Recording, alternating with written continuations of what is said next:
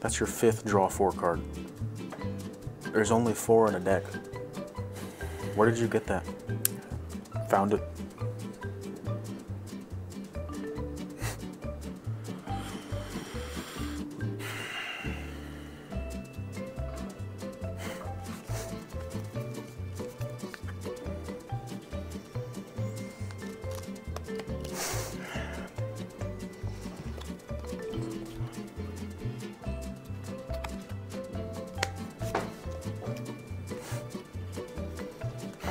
You gotta have a three in there somewhere. As a matter of fact, I do.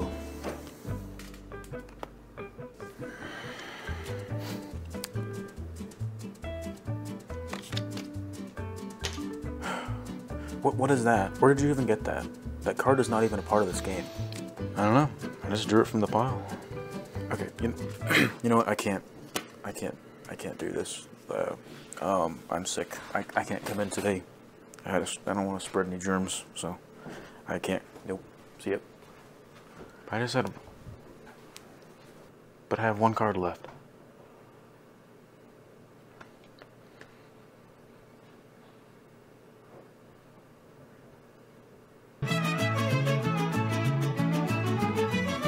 At first I thought it was going to be easy. Have a camera that recognizes the color and number of a card and then just match the color or number. But I soon figured out it was going to be much, much more complicated.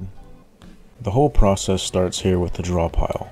It's designed with these white tabs made out of HTT2 belting that are flexible enough yet rigid enough to knock cards off each other to singulate them.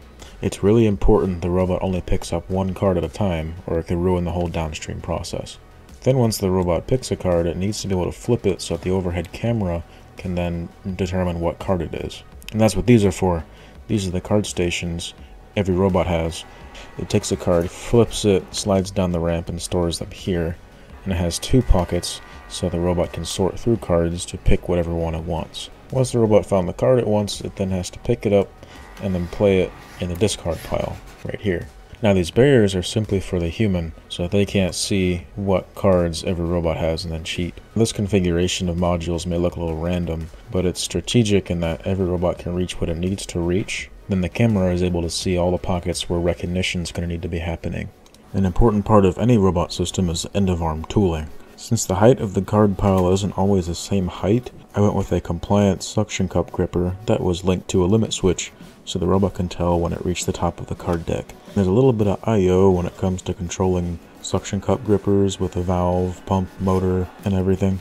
And I wanted it to be a simple high or low output that controls the gripper on or off, so I built this cool gripper controller that takes a simple high and low input and does all the actual controls for the gripper internally. Inside, there's a little Arduino microcontroller for programming timings that controls a couple relays that controls the pump and the valve, as well as a status LED to tell whether the pump's on or off, and it could either be bolted to a machine or snapped to DIN rail.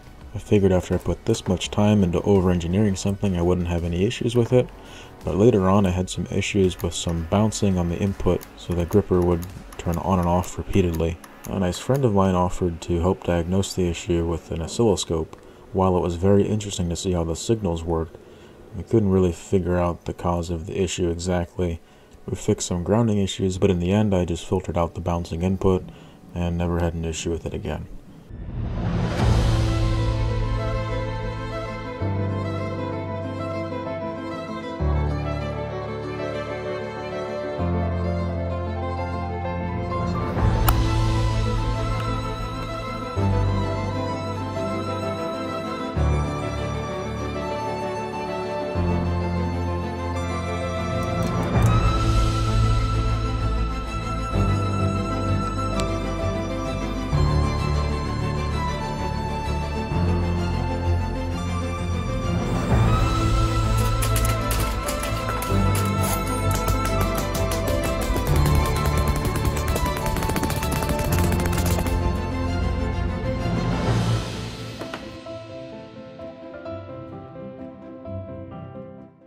One challenge I had was I had to work with older robots, which while they were more than capable of doing the job, they weren't able to do the level of processing it takes to run an entire game of Uno, as well as machine vision.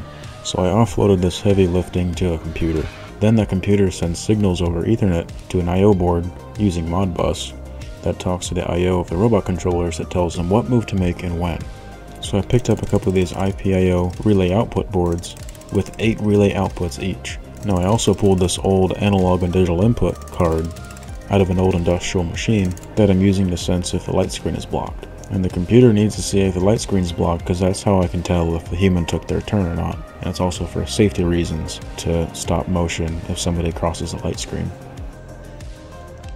Now learning Modbus isn't the most intuitive thing, so a huge thank you to a good friend who helped me figure this part out.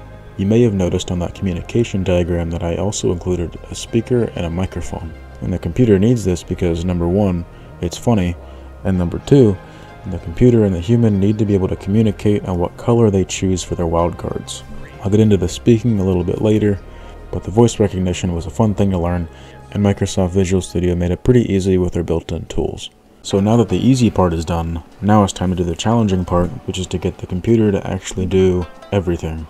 First thing the computer needs to do is to recognize cards, because if it can't recognize cards, everything else is useless. For this, I'm using Visual Studio's built-in ML.NET model builder, where you simply upload a folder that contains folders, and in each of those folders would be a type of card. For example, one folder would be filled with number one cards, another folder would be filled with number two cards, another folder would be filled with wildcards, and so for me, I had 16 different folders for 16 different types of cards, and I found it to be better if it finds the color later. So training the model is pretty easy, the challenging part is getting the correct data. It's important to collect the data in the same scene that it's going to need to recognize the object in. So what I had to do is take hundreds of photos of every card in every position and then sort them all out into their different types of cards and then train the model on this set. Now this is a lot of work to do by hand, but luckily I have a robot arm with the correct tooling sitting right there that can do it all for me. So I set up an infinite loop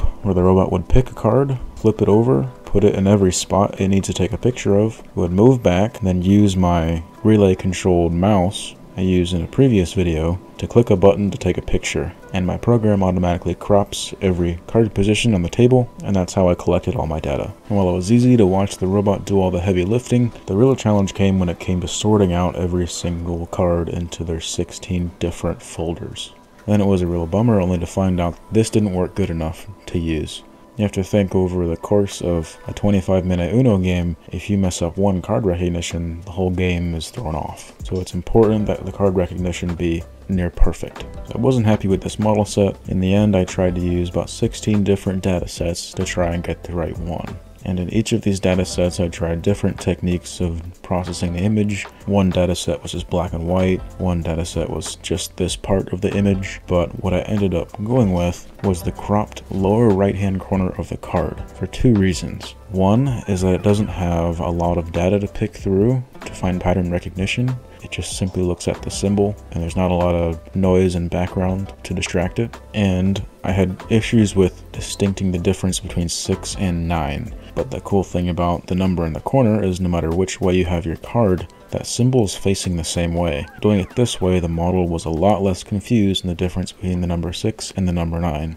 But that wasn't good enough. There still wasn't enough images to train the model to be reliable enough. Looking at what other people did, they actually faked a lot of their data by using a good amount of real data and then made new data to give them millions of pictures to train the model on. So I did the same thing and adjusted the brightness 15 times in either direction and adjusted the rotation 20 times in either direction for every image of every card. And this led me with about 2.8 million pictures of Uno cards that took about 60 gigabytes worth of space. This model ended up taking around 6 hours to train but it was reliable enough to depend on when using it to play in a game. And now that it was recognizing the card good enough, the next issue was to get it to recognize the color.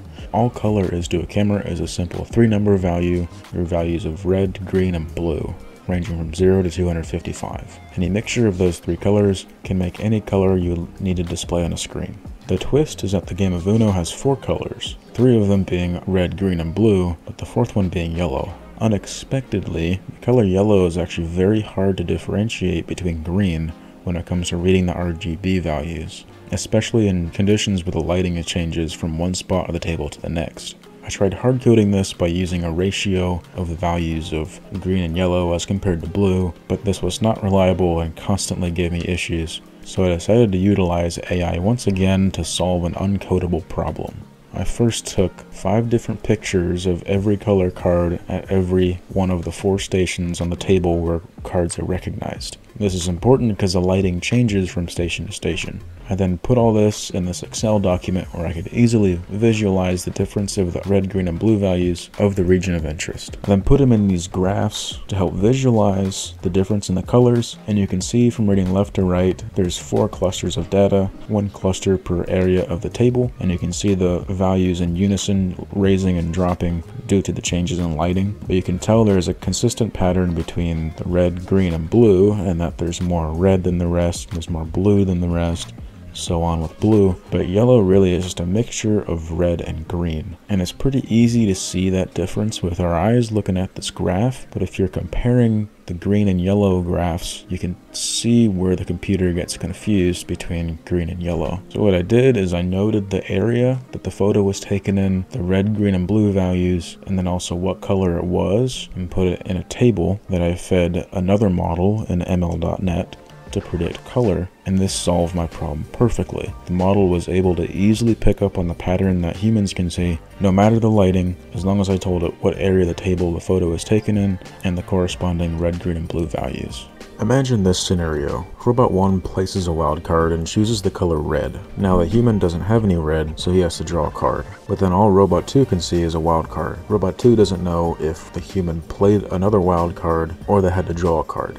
This is incredibly important because it determines what Robot 2 should do, whether it should ask what color the human chose, or if it should keep the color red that Robot 1 chose. So it's incredibly important to sense whether or not the human draws or plays a card. The first way I tried going about doing this is sensing for motion. If the computer sees enough motion over the discard pile as compared to the draw pile after the person pulls their hand back, then that's how it would figure out if they drew or played a card. And that worked for the most part, but there was a big issue in that the table slightly shakes and that threw it off every once in a while. But there is a better way to do this. Instead, I'm using an image subtractor. Right before the human's turn, it takes a photo of the discard pile. Then after the human takes their turn, it takes another photo then subtracts these two images, and then if there's enough difference between the two, that's how we can tell if the human drew a card or played a card on top of the existing card. Even if it's the same exact card, they just need to be off a little bit in order to tell if a new card was placed. With the computer now being able to recognize cards, now we need to tell it what it can do with them. For the ease of programming, every card was given its own unique number, and they're listed in this list right here. The card number for a blue 0 is 0, card number for a blue 1 is 1, and so on for every card in the entire game. And each of those cards are listed in this list. And each card in this list has a list of cards they could be played against. So if the computer needs to figure out if a blue 0 right here could be played up against a blue 2, then it needs to be able to find it in this list. After meticulously filling every card in the entire game, the computer can now look up which card is playable against which cards. For the smarts of actually choosing what card to play, there's not much you can really do in the game of Uno, because it's all random. Someone actually tried to use reinforcement learning and AI to find the best way to play Uno, and after 100,000 simulations of using reinforcement learning, the algorithm was only 3% more likely to win against a random player. So not a big enough difference to use here. Instead, a better strategy in my scenario is just to pick the closest card to the top of the robot's pile. That way the game goes quicker, because it does take some time to swap cards between the two piles. And this really didn't have an effect on how often they won. Since the robot needs to speak anyway, I decided to make it fun by giving it a bunch of different responses it can do for every different scenario. Whenever it draws a card, it picks a random statement while it's drawing a card. Whenever it plays a special card, it has a list of different taunts it randomly picks through. Generally short statements that make it funny every once in a while. And whenever one of the robots wins at the end, it has a short rant it goes on about. I actually had ChatGPT write up all of these 20 different responses that it could randomly pick from whenever one of the robots wins. And some of the statements that ChatGPT came up with were pretty scary about artificial intelligence taking over and being better than humans at everything. So read through these if you like, they're pretty funny. Sorry. I suppose red will have to do. It's the least inferior option. Your turn. Along with the verbal abuse from the robots, there's also physical abuse. No, just gestures pretty much. But I thought it'd be funny if the robot would make fun of and gesture the other robots whenever they put down a special card that makes them draw cards or something. I programmed a bunch of these different taunts that the robot does to the other robot, and so whenever the robot makes a power move, it then reaches over and taunts the other robots, which makes it seem more alive and it's a lot funnier. Well, until one robot is too close to the other taunting it, then this, you haven't figured out your safety interlock for not allowing one robot to move while the other's in motion. And then while one robot's taunting the other, the other one starts its turn and then they punch each other. Then the scary part is it moves a table carrying 400 pounds worth of robots on it. So yeah, safety first. Since the robots are controlled by the computer, I need to make this interface that shows me all the debugging information, all the information about the current state of the game, and gives me options to run and manage the game. And that's what this program's doing. Not only is it running the Uno game, but it also gives me the options to interfere if, if a card is read wrong, gives me settings for starting a game, selecting what camera to use, and just generally shows me a lot of debugging information to make sure everything's working properly. And since everything's controlled by my computer, I couldn't resist making another interface that's designed for someone to play as a robot through my computer. Instead of the robot making all the decisions, all the information is forwarded to this interface, and somebody who's on the computer can then play as the robot. All I have to do is give him remote access to my computer, and anywhere in the world that has an internet connection can play Uno with me through an industrial robot arm. And while testing it, I had a bunch of my friends play with me while they were out of state.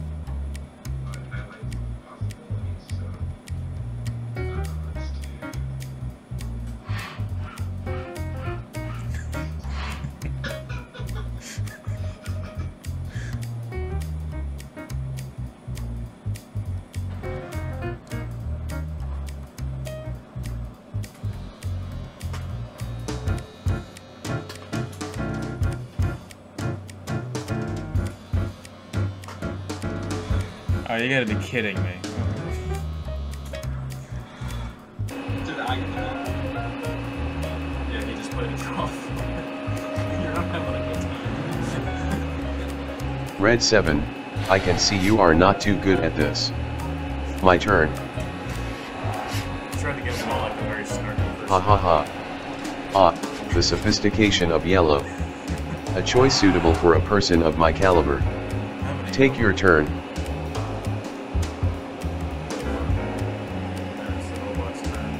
Seriously. A red 6. My turn. I don't like this game anymore.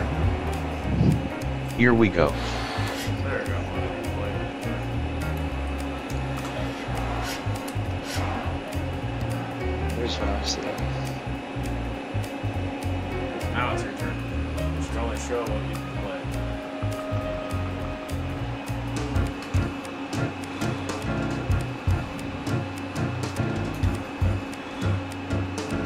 Red 8, that's the best you got. My turn. The best part is his robots are smack talking.